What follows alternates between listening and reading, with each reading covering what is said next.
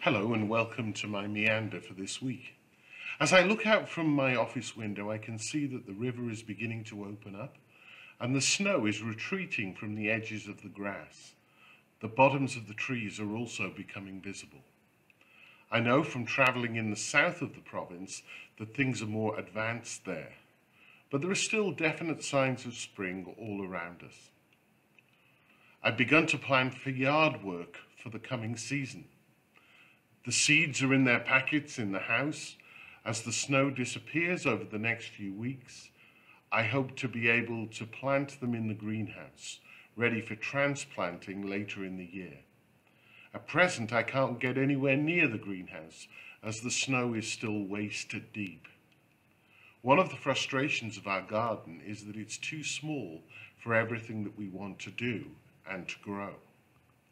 The result is that I've decided to build some wooden structures which I can place in the beds and other places to grow things up.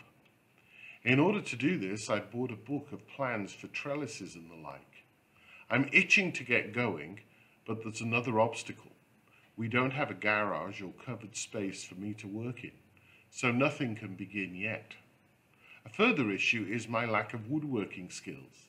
It looks as if I'm going to have to cut angles. Never, I've never been very good at angles. So I could be responsible for a piece of major deforestation in the province as I go through two by twos, trying to make them fit together at the top.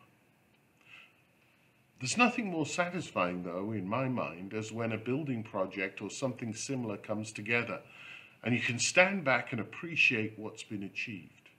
This applies to many things, from building a structure in the backyard to baking a delicious cake. There's always a great sense of accomplishment. The Bible tells us that we are made in the image of God, who is the creator of the world in which we live. As spring approaches, we can see more evidence of God's creative hand than perhaps we've been able to for a few months. Winter has its own stark beauty, with things like the snow forming a white background to the red dogwood branches. But spring always seems to quicken the heart.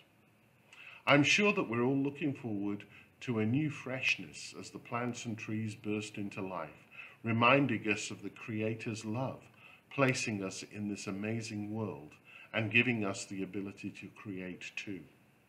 This also raises our heads to look at the new creation that we are promised with the new heaven and the new earth, the first fruits of which we see in the resurrected Jesus, whom we shall soon be celebrating at Easter. Once again, thank you for joining me this week. God bless and see you again soon.